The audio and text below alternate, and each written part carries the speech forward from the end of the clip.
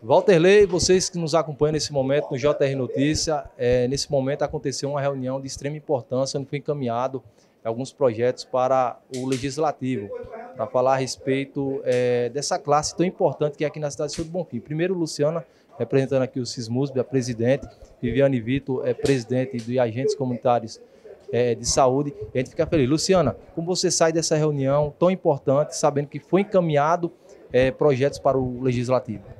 Bom dia, Matheus. Bom dia a todos que estão é, nos assistindo. Olha, Matheus, primeiramente não posso deixar de agradecer a toda a nossa diretoria do SISMUSB, doutor Lúcio, Laércio Santana, que vem a todo instante é, nos apoiando, dialogando, trazendo ideias e agradecer a todos os servidores públicos municipais que entenderam, que nos apoiaram que entenderam que essa luta ela é necessária, que ela acontece todos os anos e que é preciso ter paciência para as conquistas.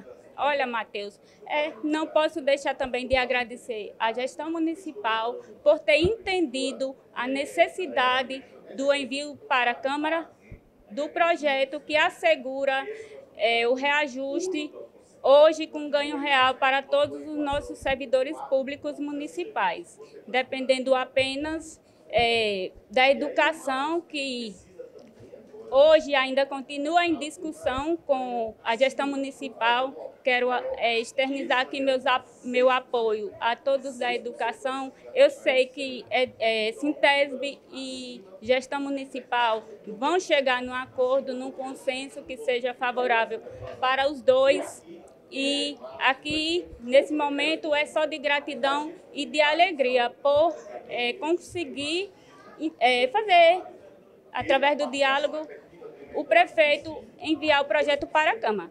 Para câmaras. Os vereadores já nos apoiando aqui, já agradeço pela presença de todos.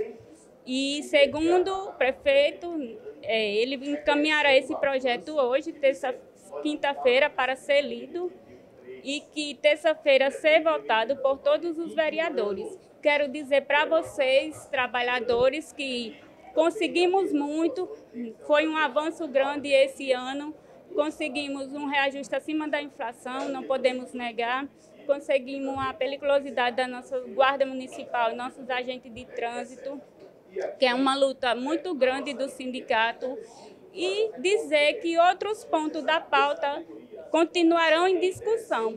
Como é de como é provável que, como aqui em Seu Bonfim também outras cidades essas pautas a gente nunca, nunca consegue alcançar tudo, todas de vez, mas com muita luta, com apoio dos nossos servidores, a gente vai dialogando e com fé em Deus a gente vai atender todas essas pautas e continuar atendendo às expectativas dos nossos servidores públicos municipais. Muito obrigado e parabéns pela luta de vocês. E Viane, você também é incansável, né? Primeiro parabenizar pela sua luta aí à frente dos agentes comunitários é de saúde.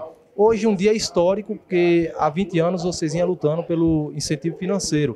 E hoje foi aprovado aqui pelo Laércio, ele garantiu, deu a palavra, vai ser encaminhado para a Câmara Municipal. Mas como é que você sente saber que vocês vão ter todo esse direito é que é de vocês? Saudar, né, a JR, saudar Baterley e, assim, é, o incentivo financeiro adicional, ele existe antes de eu ser agente comunitário. Eu sou agente comunitário há 15 anos e há 21 anos a lei já fala do incentivo financeiro adicional.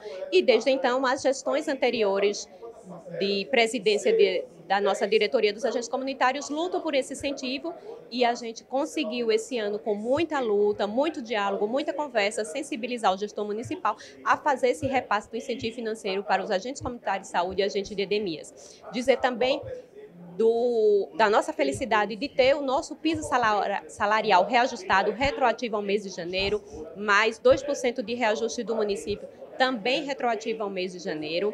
É, todos os projetos encaminhados para a Câmara de Vereadores para ser lido hoje, votado na terça-feira. E na terça-feira eu já convido aqui a todos os agentes comunitários de saúde, os agentes de endemias, para se fazerem presentes na Câmara de Vereadores, porque esse é um momento de extrema importância para nós. é, ter o nosso salário reajustado é uma efetivação de direitos, mas que em gestões, em outras gestões, a gente já teve momentos em que a gente não teve reajuste, em que a gente não, não, não era nem recebido. E a minha gratidão a Laércio e especialmente nesse ano, pela forma em que nós fomos tratados. Nós, a todo momento, fomos convidados a participar das reuniões, tivemos reuniões apenas com as nossas duas classes, e aí Laércio mostrou os números para nós, até onde nós poderíamos avançar. A gente entende que a gente poderia avançar um pouquinho mais, mas avançamos dentro das possibilidades do município, e hoje é um dia muito feliz, principalmente para os agentes comunitários de saúde e agentes de MIS que tiveram seu incentivo financeiro adicional efetivado objetivo conquistado, né? Porque foi aprovado, vai, vai é, foi aprovado pelo prefeito, assinado, vai para a Câmara para ser aprovado, independentemente do Sintesb, né? Nesse momento é, realizou uma assembleia lá no Sindiferro para tratar sobre a proposta dos 4%. Vocês conseguiram o objetivo de vocês. Exatamente, a gente até presta o nosso apoio aos nossos colegas do CITESB, eu também sou professora, presto ao apoio à minha classe também, mas nesse momento a gente entende que a luta do CITESB é uma luta que vai ser feita individualmente, até mesmo porque são pautas diferentes. E as, as nossas outras categorias já haviam fechado os nossos, as nossas negociações, então nada mais justo do que o nosso projeto fosse enviado para a Câmara de Vereadores para que os, os nossos servidores recebessem o salário de março já com os seus reajustes ajuste, até mesmo porque a gente vem esperando desde janeiro o recurso financeiro dos agentes comunitários de saúde e agente de endemias está na conta do município desde janeiro. Então, justo que agora em março a gente receba e retroativo a janeiro.